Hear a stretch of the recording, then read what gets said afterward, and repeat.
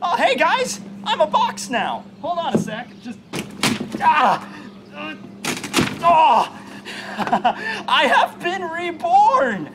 Alright, so, uh, many of you might be questioning why I decided to uh, become a box, and I think the most obvious reason is, you know, to sneak past security guards in high risk combat zones. But it does have a few other benefits. Ergo, it's a handy place to keep all my manga. So, ugh. may I recommend some of my personal favorite box themed series, like My Hero Academia, featuring that one character that can turn into a box, and One Piece, featuring that other character that ate a magical fruit that allows them to turn into a box. Hold on, I got more. There's actually a lot more box themed series. We got, um, Dr. Stone. I don't even have to explain to you why boxes are important in that one. Oh, this is an actual relevant one. We got The Promised Neverland. You see, that's a metaphorical box. The children are kept in a metaphorical box called life.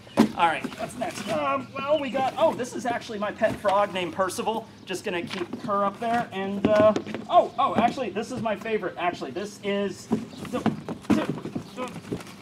there we go. This is Full Metal Alchemist hardcover.